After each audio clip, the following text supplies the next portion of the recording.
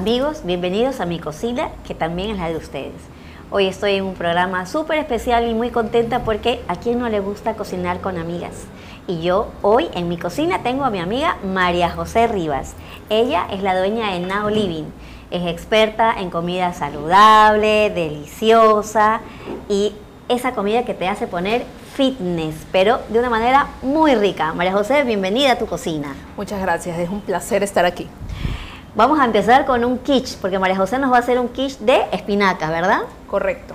Y es una manera súper inteligente, porque a veces en la casa no les gusta comer espinaca, de incorporar este vegetal tan rico en una comida para que pueda servir, por ejemplo, para un almuerzo delicioso. Para preparar el quiche necesitamos mantequilla sin sal, harina, huevos, sal, leche, ajo en polvo, espinaca y queso. Empezamos en un tazón limpio y vamos a colocar harina. Si me puedes poner aquí, por favor. Te paso. Muchísimas gracias. Colocamos la harina del tazón y aquí tenemos mantequilla picada en cubos. Vamos a hacer una masa quebrada. La mantequilla tiene que estar a temperatura ambiente. Eh, fría. Y lo vamos a hacer con la ayuda de un tenedor.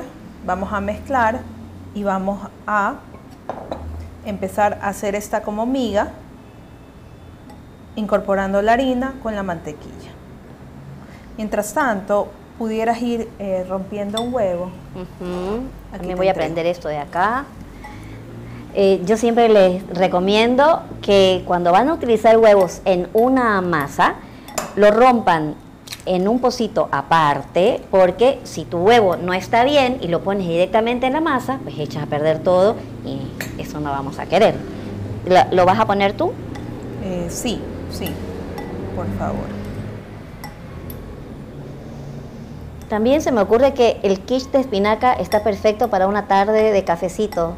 Correcto, y lo, lo, chévere de esta receta es que podemos hacerla con diferentes vegetales, acelga, eh, champiñones, cualquier otro vegetal que tengamos eh, en, la casa, no tiene que ser siempre de espinaca, es versátil. O sea, es como que aprender una masa base y cada uno en su cocina lo puede ir modificando. Perfecto. Una vez que la tenemos así, agregamos el huevo. Tenemos. Y ahora sí nos toca hacer uso de la mano.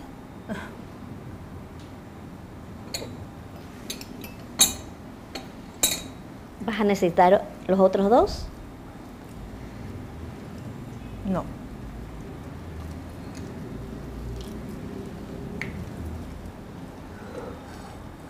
Acá en la sartén, ¿qué voy haciendo? La voy, voy poniendo... La espinaca con la mantequilla para saltearla un poco. Y una pizquita de sal. ¿Usas mantequilla con sal o mantequilla sin sal? A mí me gusta trabajar siempre con mantequilla sin sal porque una vez que la tenemos hecha eh, la mantequilla, lo puedo sazonar a mi gusto. A ver, aquí me va derritiendo. Voy a coger esto por acá. Ay, les quiero contar. Este regalo me lo hizo mi comadrita María Teresa en Navidad y le puso aquí en el en el manguito dice comadrita. Me parece una idea súper linda para la gente que nos gusta cocinar. Todas las amigas, las primitas, siempre saben que aciertan dándonos cositas para la cocina. Así que copien esa idea que está muy buena. Le pueden poner cuñadita, le pueden poner hermana, le pueden poner madrecita. O sea, está buenísima la idea. ¿Qué más, María José? Bueno, aquí tenemos nuestra masa lista y la vamos a poner en nuestro molde. Ok.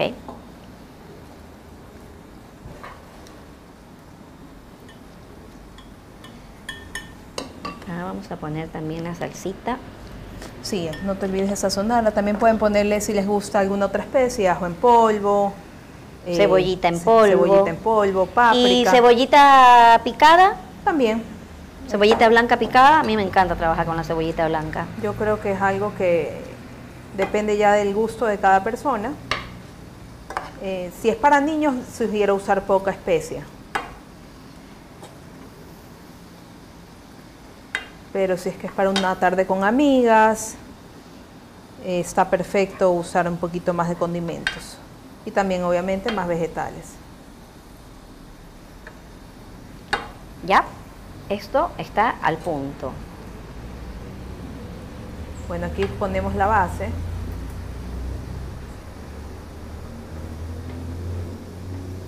Ahí voy a poner eso. Aquí tenemos la base. Ponemos los... A, a- ponla allí. Exactamente. Ponemos las espinacas salteadas y colocamos un poco de queso. Pueden usar cualquier queso. Aquí, yo, aquí estamos usando queso holandés. Puede ser queso fresco. Puede ser mozzarella, eh, gouda, cualquiera.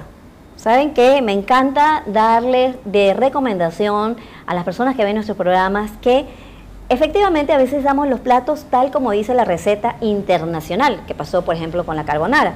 Pero hay gente que decía, no, la verdadera carbonara es con fettuccini, no, la verdadera carbonara es con espagueti.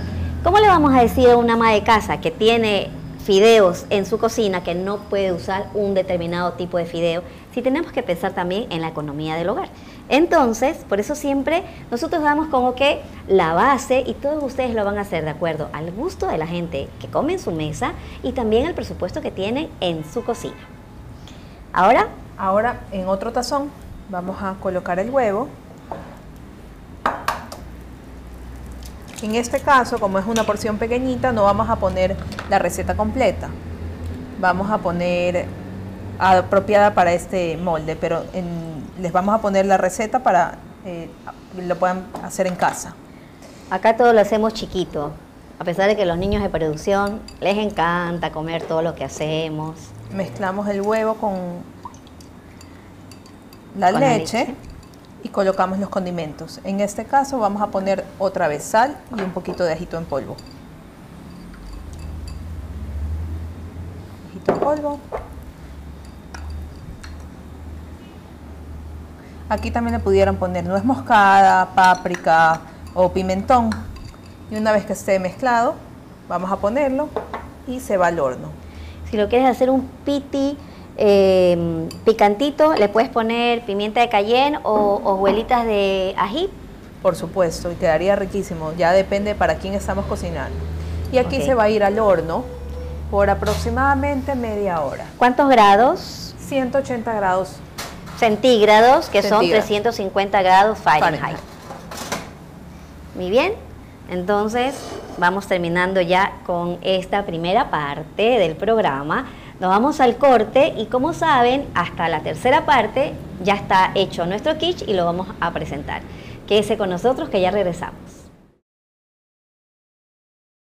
Amigos, bienvenidos a la segunda parte del programa. Les recuerdo que estamos en compañía de María José de Now Living. Y en este segundo bloque vamos a preparar, bueno, ella va a preparar un pollo con salsita de champiñones. necesitamos pechuga de pollo, mostaza, sal, ajo molido, salsa china, mantequilla sin sal, champiñones, crema de leche, vino blanco, caldo de pollo y maicena. Eso, delicioso. ¿Con qué vamos a empezar? Empezamos con nuestro pollito. Sabroso. Estoy usando pechuga porque me parece que es la más magra en, nuestro, en, en nuestra dieta. Debemos de tratar de comer proteínas eh, muy magras. Entonces nuestra recomendación es usar pechuga de pollo. También pudiera ser lomo de cerdo, eh, que también es magro, o cualquier otra proteína que no tenga grasa. Vamos a primero a marinarla para luego pasar a la salsa y luego podemos sofreír el pollo. ¿Cuánto la- tiempo tiene que estar marinado? Unos 10 minutitos es suficiente. Primero ponemos mostacita. ¿Es mostaza Dijon? ¿Es la mostaza que tenemos en Es casa? la mostaza que tengan en casa. ¿Y puede ser mostaza dulce? Si les gusta, por supuesto que sí. Aquí tenemos un poquito de salsa china. Yo voy preparando acá la sartén con mantequillita. Mantequillita. Ok. Podemos ir sofriendo. Adelantando. Aquí tenemos un poquito de sal. Y si no les gusta picar el ajo, como a mí, podemos usar ajo en polvo, pero si les gusta el ajo que tienen en casa, el, el que tienen licuado, lo pueden utilizar. Yo aprovecho y mezclo y vamos a dejar esto marinando para que nos quede delicioso en el momento que lo friamos. Aquí nosotros en, en, nuestra, en la página web van a poder ver que tenemos la receta para cuatro porciones. Ahorita solamente estamos trabajando con una porción. Al inicio del programa, los chicos de producción nos ponen todos los ingredientes, ¿no? Pero estamos haciendo, como siempre, una porción más pequeña. Aquí tenemos la mantequilla y ahí cuando está así deliciosa y burbujeante, le podemos ya agregar los champiñones.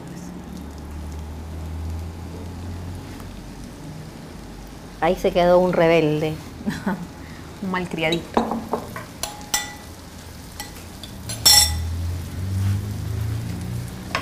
Eh, una vez más, utilizamos mantequilla sin sal y para sacar más los sabores más rápido vamos a sazonar un poquito los champiñones.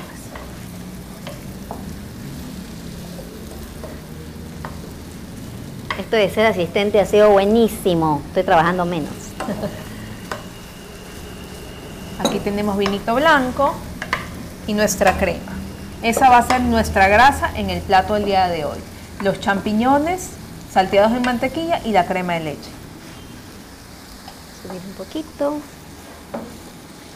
¿Desde cuándo estás especializada en comida eh, saludable. de dieta? ¿Cómo le dicen a...? Bueno, empecé yo realmente, yo soy chef eh, de partí y aparte chocolatera, pero como repostera en el mundo saludable a partir del 2013. Ah, ya, tengo bastante. ya 10 años. Y cada vez hay más gente que se une a la comida saludable, ¿no? Que usa eh, ingredientes bajos en grasa, deslactosados, descremados. Aquí vamos a agregar el vino.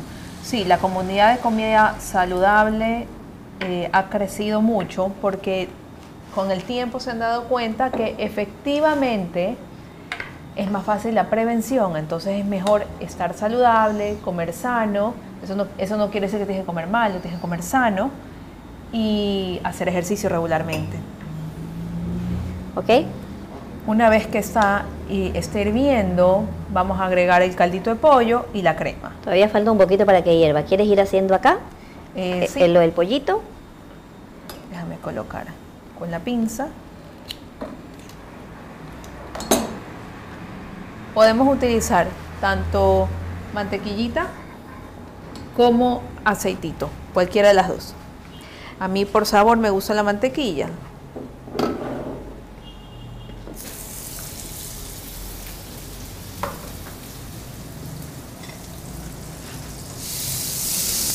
Esto.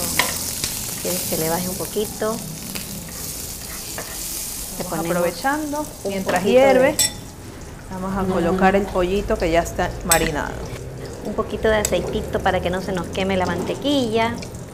Ese es un tip buenísimo. Aceitito de oliva, un poquito. Ya con eso nos ayudamos.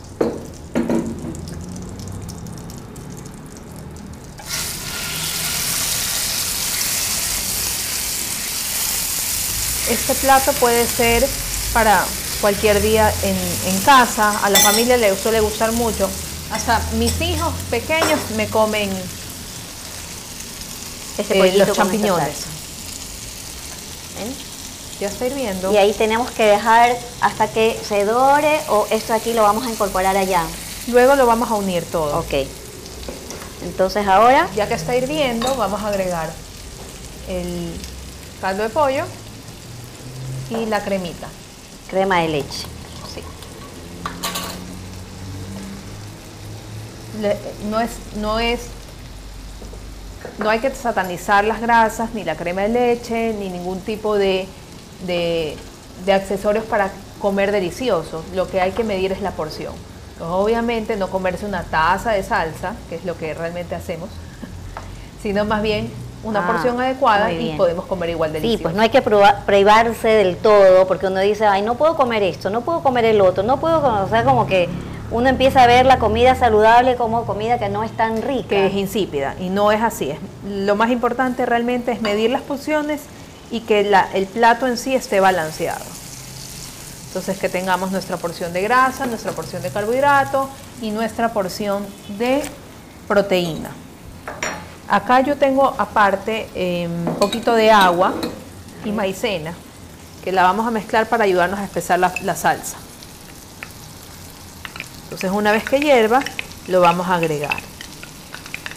Y luego probamos el, el, el punto de sal y pimienta, corregimos y podemos poner la salsa.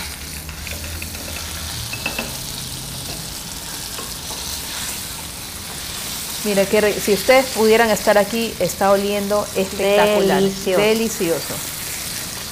Ya parece que va a hervir aquí. Y eso lo tenemos que poner acá. Sí. Vamos poniendo de una vez. Ya está hirviendo. No sé si en cámara ya, ya se ven las burbujitas, pero ya está hirviendo. Y con la ayuda de una cuchara vamos para espesar la salsa más rápidamente. Y por ejemplo, si mm, queremos hacer esto como un quiche, como hicimos en la primera parte, ponerlo como de relleno, ¿crees que sirva? Tendríamos que Espesarlo eh, bastantito. eh, y, a- y ayudarlo con el huevo también, para que nos sirva como un claro, con, es base de con el relleno, con el base del quiche. Se me ocurre que también podemos hacer em, para rellenar una tartaletita. delicioso, de las que ya vienen hechas o hacer con la misma masa del quiche, perdón. Le falta un poquito de sal, vamos a corregir sazón. Les recuerdo que siempre la sal al final para no dejar la comida salada, porque si nos pasamos ya no hay cómo regresar. En cambio, si nos falta, sí podemos agregar. ¿Ya está ese pollito o crees que le falta un poquito? Ya está. Bueno, acá nuestra salsa la dejamos reducir un minutito más. Y ¿No la se puede reducir aquí?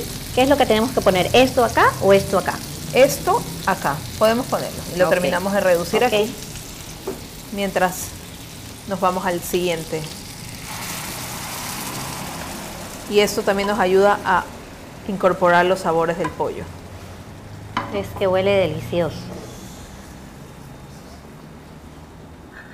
Bueno, vamos llegando al final de esta parte del programa.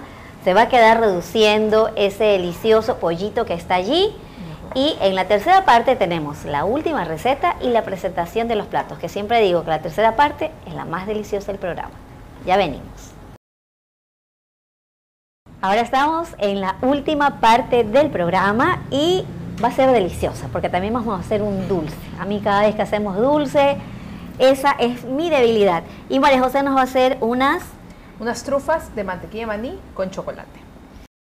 Para nuestras deliciosas trufas de mantequilla de maní necesitamos avena, mantequilla de maní, stevia en gotas, chispas de chocolate y chocolate para derretir. Entonces nuestro primer ingrediente es crema de maní. Crema de maní se la compra en el supermercado Sí. y en el mercado. En el mercado yo veo que es un poco más espesita. La mantequilla de maní como que pues también tiene mantequilla, ¿verdad? En su No, la crema de maní es solamente la pasta que tiene el maní procesado y no debe tener ningún otro ingrediente. Eso es lo que hay que revisar, que no tenga ningún otro ingrediente. Máximo puede tener sal, porque la mantequilla de maní normalmente tiene algún tipo de aceite hidrogenado, normalmente es de palma, y azúcar. Entonces ya deja de ser saludable. Mm, esa es una muy mala noticia para mí porque yo soy fanática de la mantequilla de maní, o sea, me puedo terminar un frasco en dos días. Pero puedes usar esta y le agregas unas gotitas de stevia. Aquí le vamos a poner 10 gotitas. Y ya se te hace tu mantequilla de maní deliciosa que tanto te gusta. Vamos a ver, yo voy a ser honesta, les voy a decir si está rica o no está rica. Entonces lo primero que hacemos es mezclar la mantequilla de maní con nuestra stevia y lo agregamos a la avena y a las chispas y mezclamos todo. Esa Así es de fácil. hojuelas de avena. Hojuelas de avena sencillas, no, lo- no el hojuelón duro.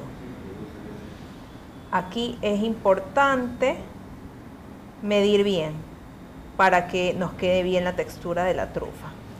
Y acá tú ya derretiste eh, chocolate, ¿verdad? Cualquier chocolate en barra que les guste, obviamente tratando de cuidar que sea bajo en azúcar. Puede ser un 70%, un 80%. Y para que se les quede un poquito más fluido, le pueden agregar un poquito de aceite de coco. Que agrego las chispas y procedo a mezclar. Yo también soy fanática del chocolate.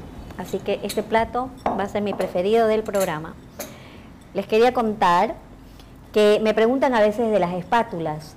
Esta espátula que yo tengo aquí, cuando la compré, decía que podía em, soportar temperaturas hasta de 400 grados eh, Fahrenheit, 200 y piquito eh, centígrados. Tienen que tener mucho cuidado con esto, porque a veces compramos una eh, espátula muy bonita, que tiene muñequitos, que tiene colorcitos, pero que cuando la ponemos a fuego demasiado alto, a temperaturas, la sometemos a temperaturas muy altas, se, se daña, se derrite, eso se, contamina el, se, sale el mango, se contamina el alimento, entonces tienen que tener mucho cuidado.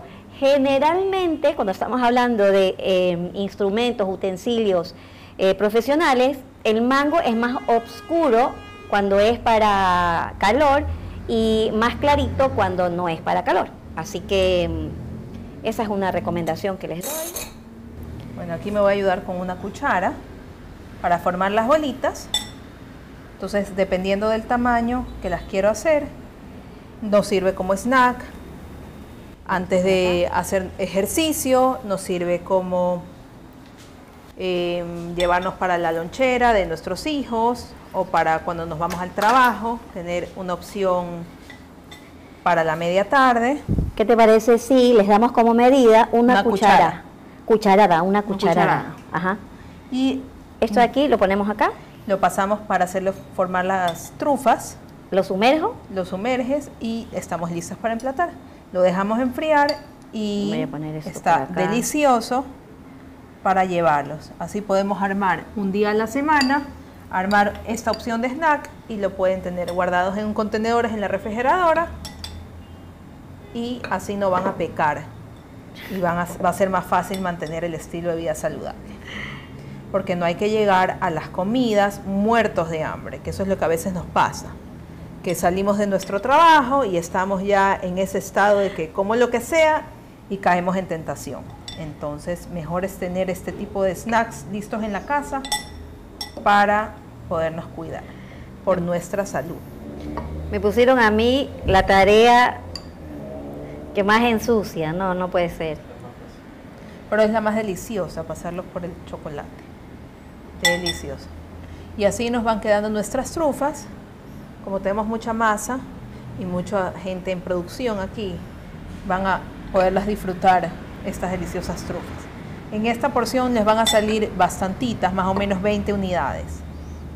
Depende, si usan la cucharada, salen 20. A ver, una pregunta, una pregunta. Después de pasarla por chocolate, por ejemplo, se la podría pasar, rebosar por coquito rallado, por, almendra, por... Sí, o decorarlas también con sal marina, si es que les gusta la combinación de chocolate con sal marina, le pueden espolvorear sal marina arriba.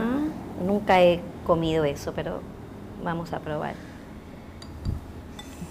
Ahora sí, mientras... Terminamos aquí nuestras bolitas nos vamos a la parte más rica del programa, que es el emplatado y probar todo lo que hemos hecho. Entonces, ya vamos a sacar del horno el quiche de espinaca. Eh, lo que también estamos haciendo es el pollito, con champiñones. La salsita de champiñones y pues las trufas que ya están listas. Así que vamos a ver cómo nos quedan los platos. Y ahora sí vamos a ver cómo quedaron esos platos que María José hizo. Primero voy a sacar de aquí el quiche de espinaca. Ay, Diosito, ayúdame. Aquí también tenemos nuestro pollito con champiñones. Voy a ayudar acá. Esa salsita está deliciosa y voy a ayudarme con este cucharoncito para colocar un poquito más de salsa. Delicioso y tenemos nuestras súper ricas trufas que decidimos ponerles a unas chocolate y otras no porque también es otra opción que pudieran comerlas con y sin el chocolate en cobertura. Anímense a preparar estas recetas porque de verdad que están deliciosas. No las hemos probado, pero el olorcito lo va contando todo. Gracias María José por estar aquí y espero que vengas pronto. Gracias por invitarme. Amigos, quédense con nosotros porque regresamos con más programación de la UCSG.